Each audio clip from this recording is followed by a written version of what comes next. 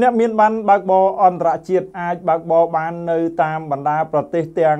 99នេះ យោងតាមការចុះផ្សាយរបស់ក្រសួងព័ត៌មាននៅថ្ងៃទី9ខែមករាឆ្នាំ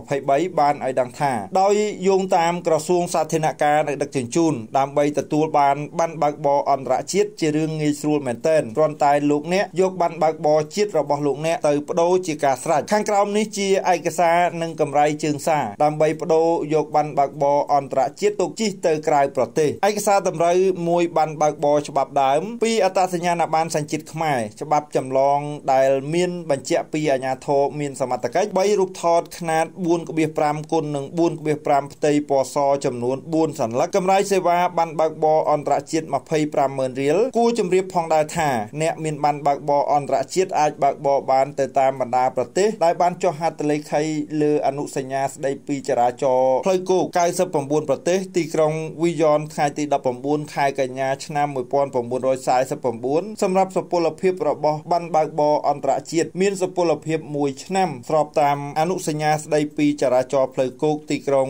វីយ៉នថ្ងៃទី19ខែកញ្ញាឆ្នាំ1949ប្រូវីដាទឹកស្ព្រីងធម្មជាតិមានសារធាតុរ៉ែពីធម្មជាតិជំនួយដល់សុខភាពនិងត្រូវបានទទួលស្គាល់ស្តង់ដារអន្តរជាតិ ISO 9001:2015 ISO 22000:2018 HACCP និង GMP ប្រូវីដាទឹកស្ព្រីងសុខភាព